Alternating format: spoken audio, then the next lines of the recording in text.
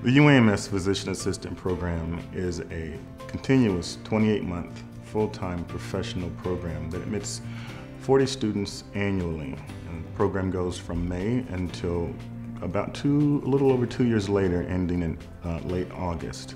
Um, our program strives to graduate PA professionals uh, that are able and are equipped with the medical skills and knowledge to practice in diverse environments and diverse settings and on diverse patient populations in order to provide um, great continuous service in working with a licensed physician to provide team-based care for their communities.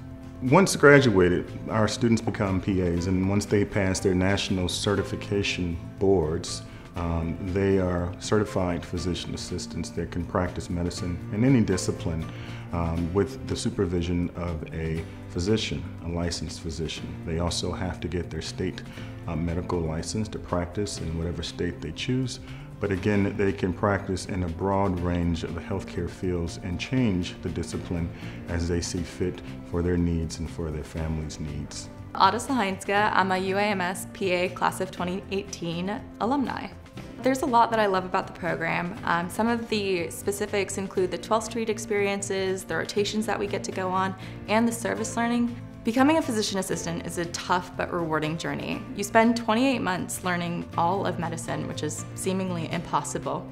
And yet, here we are coming out at the end of it, becoming well-rounded providers and learning on the job too. It is an important experience to be able to say, you know, I need help and I also know this and don't know that. And so being a PA gives you that flexibility of having an interprofessional team and being able to look for the resources around you to see what they can provide that you can't.